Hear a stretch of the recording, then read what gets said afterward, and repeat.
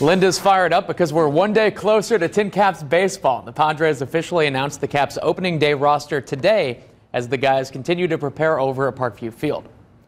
Lots of familiar faces on this roster, including 17-year-old catching phenom Ethan Salas, who returns to Fort Wayne after joining the Caps late last season. Overall, 23 of the 30 players on the roster have played with the TinCaps before, a group of guys that knows each other well. I look at our roster and, and we're like a bunch of just good friends, you know. Um, really good players, but I think it's going to be a gluey team. Um, you know, we're hanging out every night. I was here two years ago. We didn't have a great year, but last year I came in a little later and made a push at the end of the year. Uh, some guys also came up with me towards the end of the year, and now there's new guys. So I think we just got to bring those new guys in, help them know what it's all about. Goal is always to win games. That's always the most important thing. Uh, go out there and compete to try and win because that's what's uh, most important at the top level, and it all starts here. So, want to keep building off that success and uh, see what we can do.